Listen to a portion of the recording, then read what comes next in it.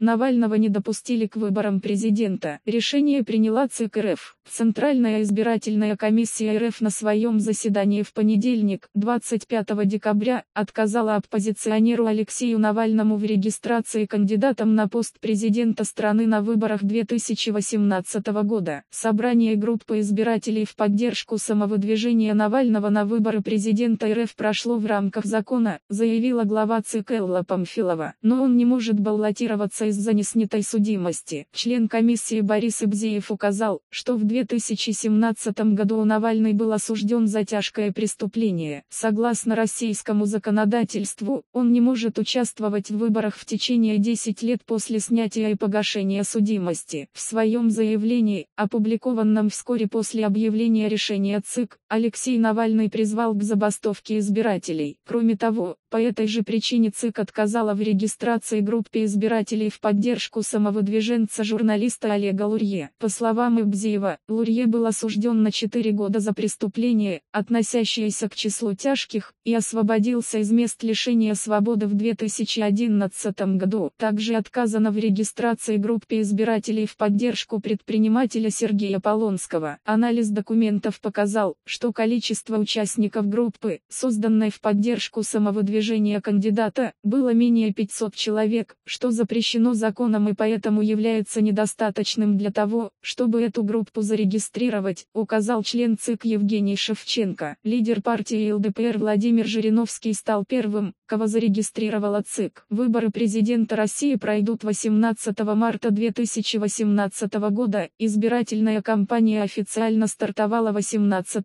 декабря. Источник. Русская служба DW. По материалам сайта newsgro.com.